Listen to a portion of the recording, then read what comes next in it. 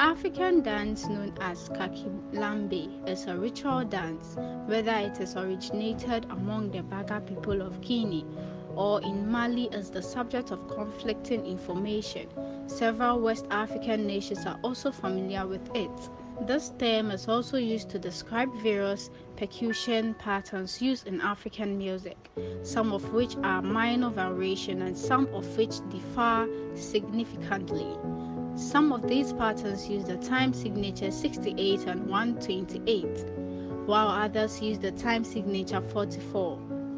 The dance known as Kakilambe is a celebration of life, the growing of crops, and most importantly, the birth of children. All these blessings are brought by the Kakilambe, and they perform the Kakilambe dance to commemorate his arrival.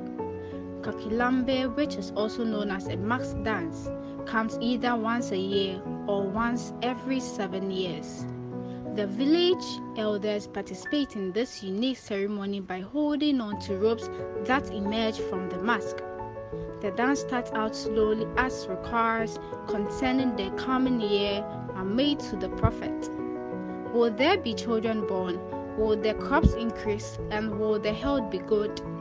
Later, as Kakilambe keeps dancing, he expands to a size that is more than twice as large and spins around and around. The beat becomes a little erratic before transitioning into a quick beat or dance. The new tempo is three times faster than the old one as the elders receive the answers to their enquiries. The situation becomes quite lively and everyone rejoices. Based on Baga music, Mamady Keita's variation is taught. Thank you for watching.